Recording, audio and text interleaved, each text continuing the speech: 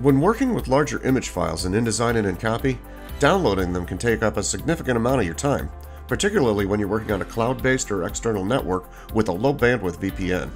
Standard preview images are too low resolution to accurately assess, and loading all the high resolution images is a time consuming process.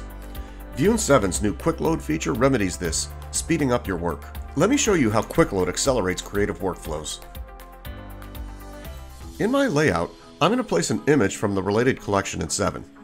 As you can see, InDesign initially shows me a poor resolution preview image. This is because the high resolution image has to be downloaded via whatever connection is available to you. Of course, the time it takes to do this increases significantly when you have multiple images that need to be placed, which end up costing you valuable time. When you're working with a large volume of images from external sites, low bandwidth access leads to a frustrating loss of time and productivity. Same task, same data connection, but now using Quick Load. The Quick Load rendition loads quickly while providing sufficient resolution to evaluate, guaranteeing a fluid design experience. And over in InCopy, editors will always have the high quality images quickly available in the layout view of their articles. Also, vjoon 7 will alert users if they attempt to use quick load renditions for processes such as printing, exporting, or creating a PDF when the high resolution asset is generally required. You can easily identify quick load images in the layout by the frame icon and of course by the icon in the links panel.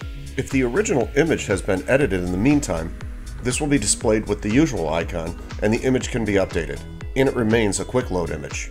When placing or updating in Adobe InDesign or InCopy, the user chooses to work with this rendition instead of the full resolution asset file. At any point in the workflow, the quick load renditions can be replaced with the high resolution assets. You can choose just one or all of them at once.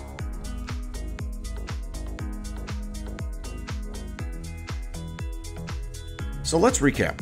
You can decide at any time whether you want to use quick load. In addition, Long download delays and poor resolution images and layouts become history. To load assets faster, vjoon 7 automatically creates considerably smaller renditions of each original high-resolution asset. At any point in the workflow, the quick load renditions can be replaced with the high-resolution asset, and layout designers and editors will save time by working faster, smoother, and far more accurately.